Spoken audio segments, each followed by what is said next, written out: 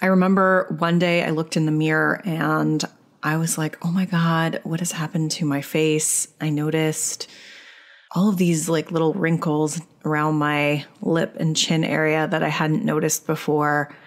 And it can be really distressing if you're not prepared for it.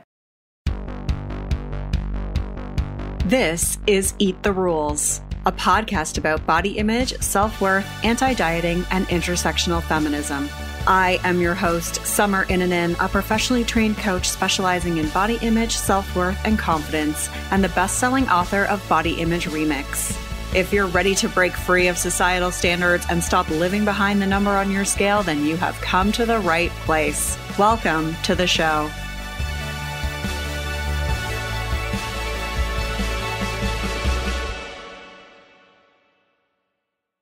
This episode of Eat the Rules is brought to you by You on Fire. You on Fire is the online group coaching program that I run that gives you a step by step way of building up your self worth beyond your appearance. With personalized coaching from me, incredible community support, and lifetime access to the program so that you can get free from body shame and live life on your own terms. Get details on what's included and sign up for the next cycle at summerinnanen.com forward slash you on fire. I'd love to have you in that group. This is episode 283, and it's another installment of the body image series. I'm walking you through some different steps to take so that you can navigate the process of aging better and the shame that might come up for you around the aging process and seeing your body change. You can find the links and resources mentioned at summerinnanen.com forward slash 283. I want to give a shout out to Row98 who left this review. I learned so much from this podcast in every episode, and I especially appreciate the diversity of guests and the frank discussions about fat acceptance, privilege, and the problems with mainstream body positivity. Thank you, Summer. Thank you so much. I'm so glad you find that helpful. I'm so glad that you find those conversations enjoyable, insightful. If you haven't done so, you can leave a review. Just head to Apple Podcasts, search for Eat the Rules, then click ratings and reviews and click to leave a review or give it a rating. You can also subscribe to the show. That's another great way to support this podcast for free.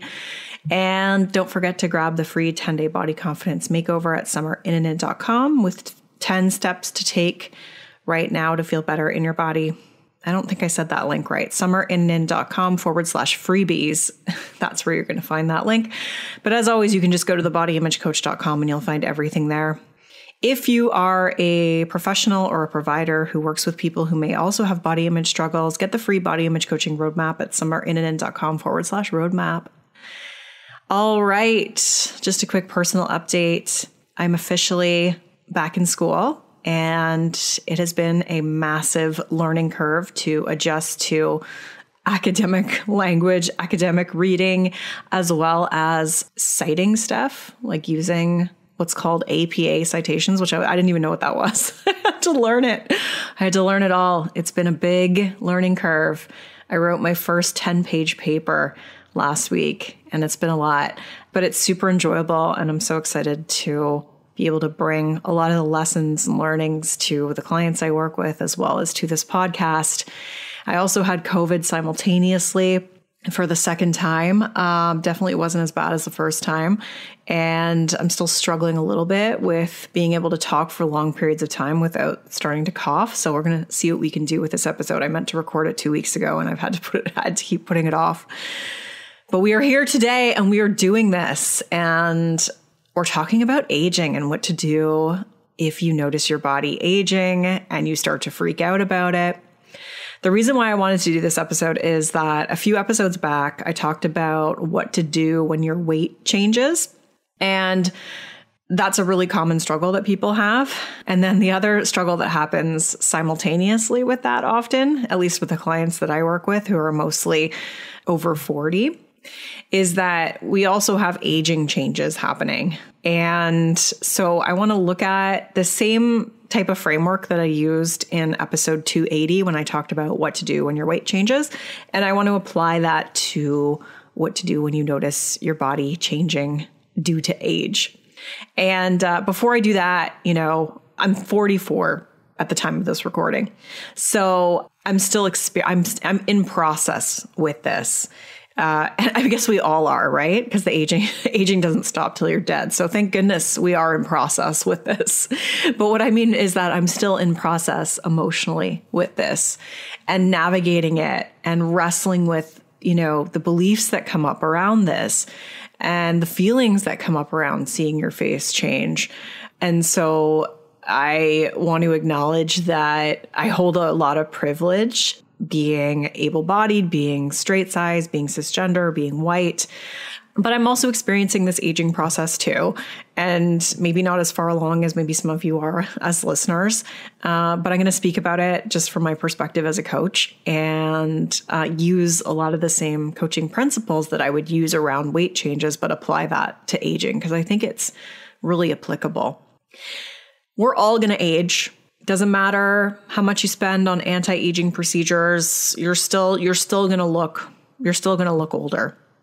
And i've seen this so much with my clients. As i mentioned a, a, large percentage of my clients are over 40 and even if they're not they they still have aging concerns because it's become a big thing with with younger people too. So with like millennials in particular even gen z you know, there's this huge focus on like skincare and stopping the aging process. But I think, you know, a lot of my clients who are over 40 are actually in that process. They're in the aging process. And we're conditioned at such a young age to think that aging is something to be avoided. And I think that message has really been amplified over the last decade or two, at least from what I've seen. Because let me tell you, in my 20s, I was not thinking about using any kind of skincare other than like maybe I'll wipe my face down at night. Maybe I'll put a moisturizer on. But there was I had like I didn't know what a, the fuck a serum was, you know? And uh and that stuff is just so pervasive now. It's just like that's just what you do as part of us. it's you have to have a skincare routine when you're young. And uh, and so I I didn't have that. And I feel like a lot of you listening probably didn't have that either. So it's not something that's really sort of come to my mind until later when I actually start to see these changes. And it can be particularly distressing when you start to see like all these wrinkles show up, the looser skin show up, and you're having body changes. So maybe you're gaining weight, which is a normal process that we go through when we go through perimenopause and menopause, our bodies change, as well as just when we age. Sometimes our lifestyles change, our hormones change, different things can happen, and our bodies can just change. And so it's normal to experience some weight changes. And then we're on top of that, we're noticing that maybe like our skin looks different, our face looks different. And so these two things are happening simultaneously. And what I've noticed is that if your self worth has been heavily tied to your appearance, then it might be even more jarring to experience these changes because you're getting hit with both anti fat bias as well as ageism simultaneously, as well as ableism, which intersects with that. I talked about that in episode 282 when I talked about the similarities between diet culture and, and anti aging culture. So you can check that out there. I've also noticed that sometimes we do the work around body image and we neglect the aging piece of it and then that might show up later if it hasn't been addressed and that's that's exactly what happened to me personally. I noticed that I started to be a lot more critical uh, over the wrinkles on my, on my face. Like I was like noticing them and feeling like this sense of almost like shame and panic, the same kind of thing that used to happen when I would notice like my body change, my body size change. And it took me, it took me a little bit of time to recognize that it was the same kind of coping mechanism that I used to do with my weight. So what I mean by that is I used to feel a lot of shame and stress about my body when other aspects of my life were really stressful and felt out of control. What I noticed is that I stopped doing that once I brought I brought awareness to that and was able to work through it. But it showed up with aging over the last couple years i noticed i was i would start to become really critical during these times of stress and overwhelm. And it's been great because now i have this awareness and i haven't been doing that as much but i have these moments where i see somebody's face or i see my own face and i think like oh my god like what's happening to me? And when i see somebody else face, else's face i think like oh like they you know, their skin is like quote unquote better than mine. So I'm unpacking all these beliefs too. And it's a process, it's not one and done, takes some time, much like all the work we do with our body image. But I wanted to cover similar three phase framework that I talked about in episode 280 about what to do when you experience weight changes. And so, as a reminder, the three phases are one is grieve, two is normalize, and three is connect. And again, this isn't like a step by step process, they're just sort of like categories that seem to fit under the umbrella of the things that would be important within each that would be helpful in order to work through the feelings that you might have about the aging process and seeing your body change as a result of aging. Let's talk about the mourning process to start. When we notice our body changing due to age, we want to think about what we might be letting go of when our body is changing due to age. So, kind of like when we talk about mourning the loss of your ideal body as it relates to size and appearance, it's not the body necessarily that we're letting go of, it's what we've attached to, to it. So, same thing with age, aging. It's not like just your younger appearance that you're letting go of, but what you've tied to that. And that could be something like health. You know, when you're younger, you just don't seem to worry about health. And I recognize that's a privilege, but uh, that was a privilege that I certainly had. I just didn't really worry about health. I didn't worry about mortality. It seemed like something just so far in the distant future. And I just felt invincible. And so, mourning that feeling of being invincible, coming to terms with mortality, and mourning like this idea that you can just be carefree about it is part of this process. I think that's that's one of the things that perhaps we've attached to our younger looking body. It could also be that we're mourning just the loss of being more visible, the loss of being more noticeable, could be tied wrapped up in attractiveness, could be wrapped up in identity, uh, and that can be something that we might need to just look at and feel the feelings that come up around that. It might also be that we're mourning the loss of certain opportunities. Maybe the time to have children has passed, or being in a certain relationship might no longer be doable or as easy. Although, let me tell you, my mom got remarried at the age of 74. So don't ever think that it's too late for love. But whatever it is, it might it's going to be individual to you, right? So these are just some ideas, but we have to just look at like what have I attached to this younger body? Life doesn't end when we get older, obviously. In fact, like there's a lot of benefits to aging. Like I really just don't give a shit if people find me attractive or not anymore. That's super super freeing. However, a lot of us are still holding on to these ageist beliefs and so we want to just be curious about what we've t- attached to that younger body and just think about it. Just be like, what have I attached to that? What am I really letting go of? What is it about not looking younger that is causing me to feel the way I'm feeling? What have I attached to that? And it's important to go through that process because if we skip over it, then it's easy to kind of stay at the surface where we just think that the way we look is the problem. And the only way to change that is to like get a facelift or something like that, you know? and so making space for those feelings of grief is going to allow us to come to a better place of acceptance and appreciate the stage of life that you're at. The second part of the mourning process is around unpacking beliefs. It's really similar to what I was just talking about. And I talked about this a lot in episodes 279 and 280 as it relates to weight, but we want to do the same thing with aging. We have been fed a lot of harmful beliefs about aging. You know, how did your parents talk about aging? I know for for my from my perspective, you know, the way it was talked about was that it was like a really scary thing and it was a terrible thing and like, oh my God, you're my face. And those are the messages that I got. And so we want to understand what aging means to us and unpack those beliefs and look at what's feeding those beliefs. Because I will tell you, there are a lot of perimenopause, menopause groups, as well as like, you know, resources, whether that be books or social media pages that have a lot of toxic messaging in them. As well, if we're only seeing images of people that are aging in one particular way, then that's also going to feed into the beliefs we have about aging. What I mean by that is I find that there's really just two narratives that we see about aging.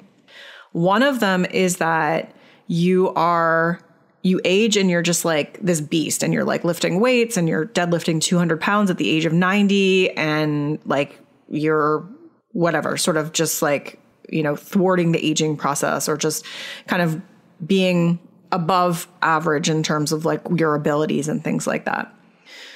The other storyline that I think we see as it relates to aging is like, you know, really kind of deteriorating like images of people in like nursing homes that are drooling and stuff. And again, like both of those those experiences do exist and are completely legit. But I think that if those are the only two storylines that we get about aging, then we're missing a lot of the diverse stories and, the in between there. And a lot of the pro aging content that I follow still really just fall, like shows those people who fit that very narrow ideal. Like they're thin, they're conventionally attractive, they're able bodied, they've got like visible muscles, they're doing these like really intense type of workouts and, and achievements and things like that. And that's great. Like if that's helpful for you, I think that's that's great. And if that's the only storyline that we're seeing, we have to ask ourselves what is that making us believe about the aging process and about ourselves in that aging process? So maybe it's positive for you and maybe it's not positive for you, but you're the only one that can determine that. The point is, we just want to draw out like what we're believing about aging and what the messages that we're taking in are making us believe about aging. Is it making you feel like your body is a problem? Is it making you feel like you need to change something about you? You're not good enough. You're not living up to this like expectation of how aging should be.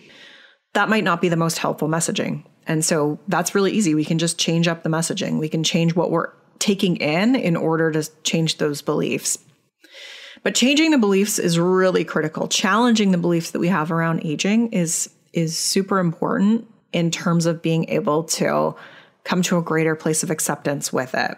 And then the last piece of the mourning process is self compassion.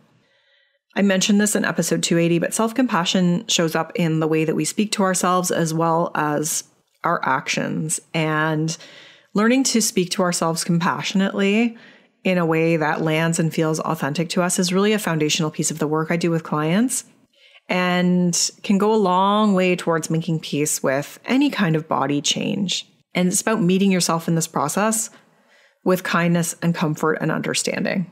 The second phase is about normalizing. So we want to normalize aging. When it comes to body size changes, I talked about the importance of normalizing diver- diversity. And with aging, we want to do the same. So, as I said, like what aging role models do you have? And do they only represent one narrow standard? Because, like I said, like we, we really sort of get like these two very narrow storylines and expectations of how aging looks. And I think that we're missing so much variety there. We can look and try to find different aging role models in your community, in real life, in different cultures, because aging is looked at differently in different cultures. It's in our Western culture and in white culture specifically that it is seen as like such a terrible and scary thing.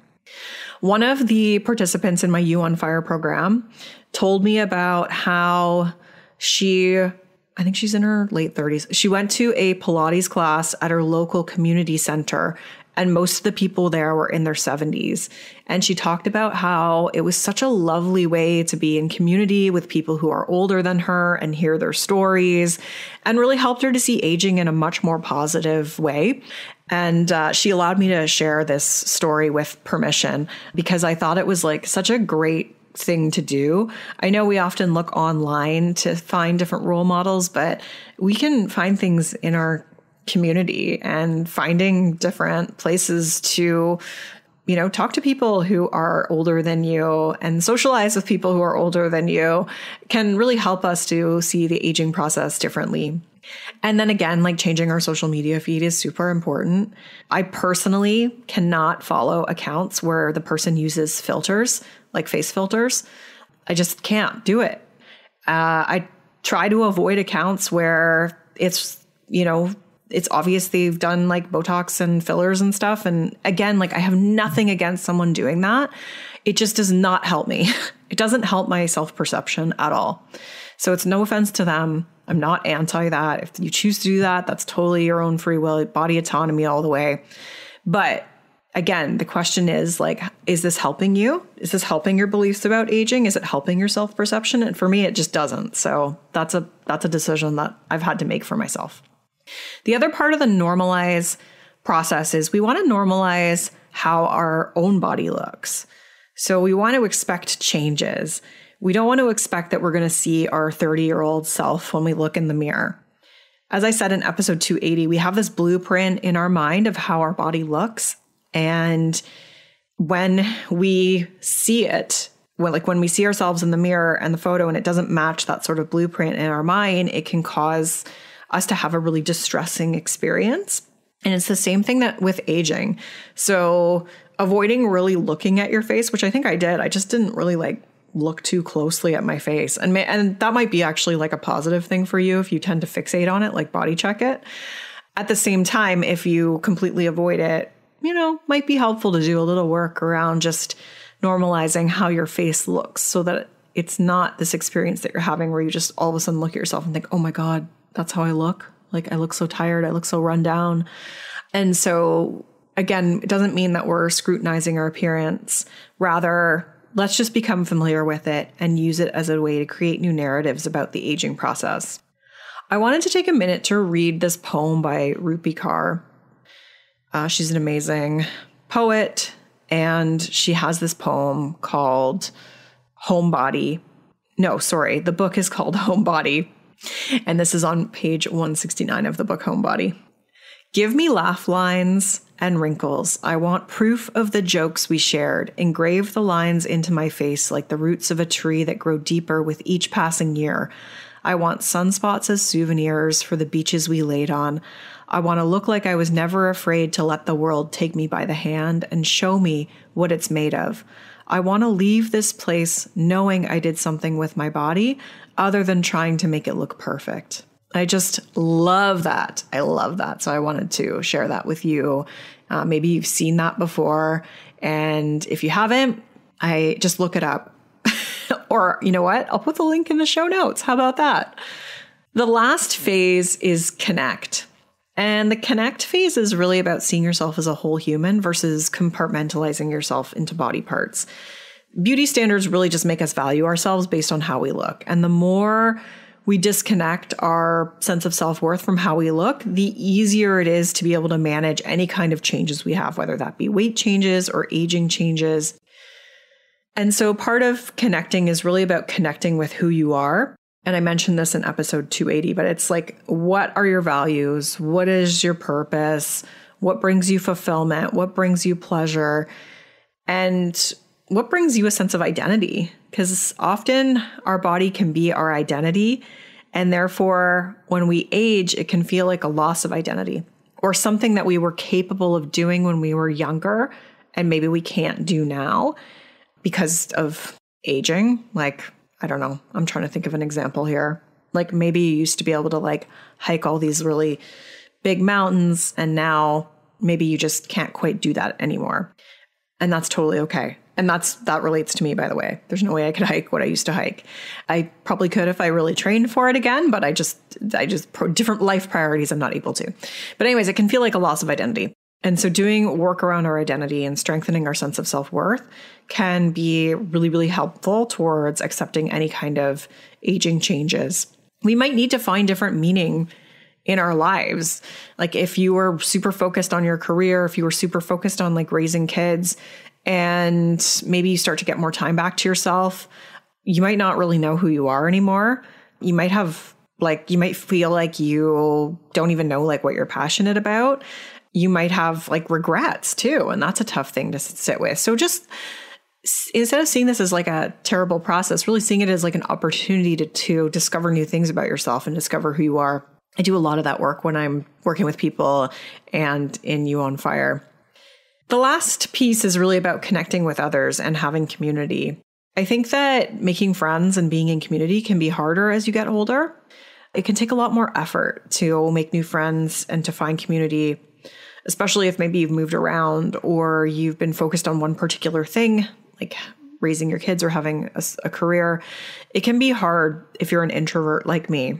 But I think that lacking connection with others can make that aging process a lot more difficult because we just feel the sense of isolation and loneliness.